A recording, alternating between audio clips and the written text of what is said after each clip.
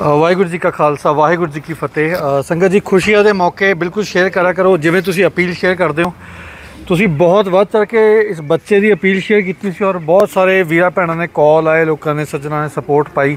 ਔਰ ਅੱਜ ਇਸ ਬੱਚੇ ਦੀ ਹੀਰਿੰਗ ਮਸ਼ੀਨ ਜੋ ਹੈ, ਉਹ ਲੱਗ ਚੁੱਕੀ ਹੈ। ਕੰਨਾਂ ਦੇ ਮਸ਼ੀਨ ਜੋ ਕਿ 2.5 ਸਾਲ ਦਾ ਬੱਚਾ ਦਿਖਾਉਂਗੇ ਯਾਰ ਮਸ਼ੀਨ ਦਿਖਾਉਂਗੇ? ਤਾਨਿਆ ਨਾਮ ਦੀ ਬੱਚੀ ਹੈ, ਫਤਿਹਗੜ੍ਹ ਸਾਹਿਬ, ਸ਼ੋਕ ਸਭਾ 'ਚ ਮਿਲੇ ਸੀਗੇ ਉਸ ਟਾਈਮ ਕਿਸੇ ਦੀ ਕਾਲ ਆਈ ਸੀ, ਇਹਨਾਂ ਨੂੰ ਮਿਲੇ ਸੀਗੇ।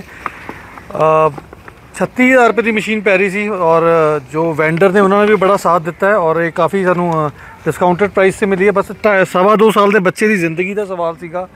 ਰਿਕਵਰੇਬਲ ਸਟੇਜ ਹੈ। ਅਗਲੇ ਡੇਢ ਦੋ ਸਾਲ ਦੇ ਵਿੱਚ ਬੱਚੀ ਰਿਕਵਰ ਕਰ ਜਾਏਗੀ। ਸੋ ਇਹ ਲਾਈਫ ਸੇਵਿੰਗ ਨਹੀਂ ਜਸਟ ਲਾਈਫ ਚੇਂਜਿੰਗ ਮਸ਼ੀਨ ਵੀ ਹੈ ਇਸ ਬੱਚੇ ਲਈ ਨਾ? ਸੋ ਉਸ ਦੇ ਨਾਲ ਸੈੱਲਾਂ ਦੇ ਦੋ ਪੱਤੇ ਵੀ ਐਡ ਕੀਤੇ ਗਏ ਨੇ। ਸੋ ਪਾਣੀ ਨੋ ਸੋ ਬਹੁਤ ਸ਼ੁਕਰ ਹੈ, ਸ- ਅਸੀਂ ਬਹੁਤ ਸਾਰੇ ਮਾਪੇ ਹੈਗੇ ਜੋ ਦੇਖ ਰਹੇ ਹੋਵਾਂਗੇ ਇਹਨਾਂ ਵੀਡੀਓਜ਼ ਨੂੰ। ਸੋ ਪੋਜ਼ਿਟਿਵਿਟੀ ਨੂੰ ਜ਼ਰੂਰ ਸ਼ੇਅਰ ਕਰਿਆ ਕਰੋ ਇਸ ਸਟ੍ਰੈਸਫੁਲ ਮਾਹੌਲ ਦੇ ਵਿੱਚ। ਸੋ ਬਹੁਤ ਬਹੁਤ ਸ਼ੁਕਰੀਆ ਤੁਹਾਡੇ ਸਾਰਿਆਂ ਦਾ ਜੋ ਹਮੇਸ਼ਾ ਰਲ ਵੱਧ ਕੇ ਸਾਥ ਦਿੰਦੇ ਹੋ। ਬਹੁਤ ਸ਼ੁਕਰੀਆ ਜੀ।